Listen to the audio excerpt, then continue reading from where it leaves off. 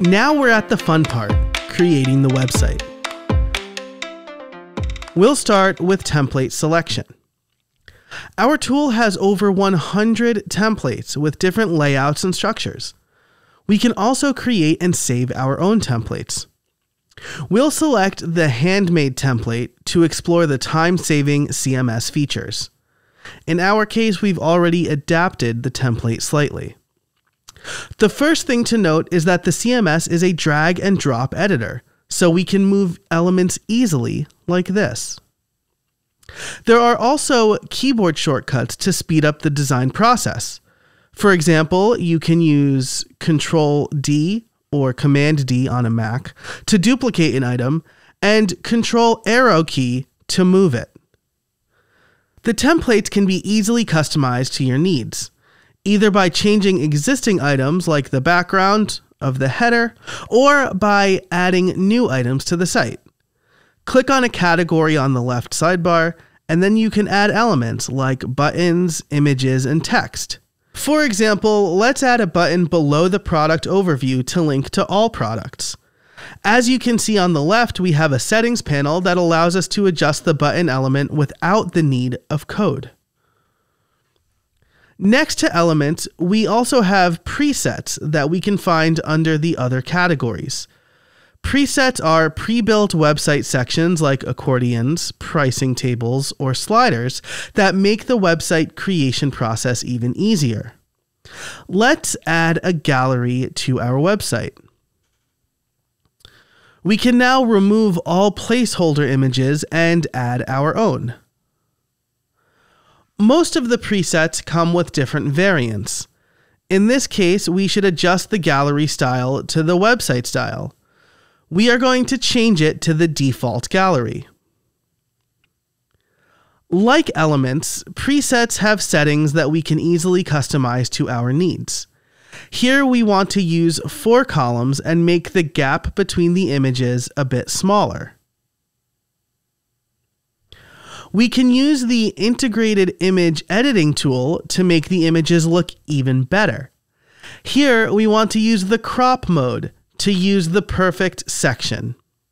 We can also, for example, add a blur or black and white filter, but this should work for now. We already changed the look of the website, but we only saw a few elements, presets, and easy to use settings to customize it. Our tool also offers responsive design features that let us change styles and layouts across devices. See how the gallery looks when we switch to tablet? It probably looks better when we switch the number of columns for tablet to 4. When we switch to mobile, the integrated responsive features already show us two columns, so it will look good on mobile. But we can also switch to one column for mobile if we want to show bigger images. Next, let's take a look at the contact section by clicking the phone number text box. When an orange border shows up around the contact info, a menu will show up on the right. In this panel, we can manage all site contact details. If we change any information here, it will change everywhere on the website all at once. So if we change the phone number, the new number will show up on all pages of the site. Another time saving feature. If we want, we can also access HTML, CSS, and JavaScript to enjoy full design flexibility by clicking the code button in the bottom right corner. Those are just some of the features our tool has to offer. There are so many more, like the ability to add dynamic content like blogs by using the integrated collections feature, or you can add a shop if we click on More in the top right, we will find other features like website settings where we can add a favicon and preview images, SEO for meta description, languages for multi language websites, and the wishes that our customer added to the customer portal. We will end this session with a quick look to the left where the hamburger menu reveals the option to add redirects or to restore and add backups. We know these features within our tool will help you save time building websites and make your design process more efficient, effortless, and enjoyable.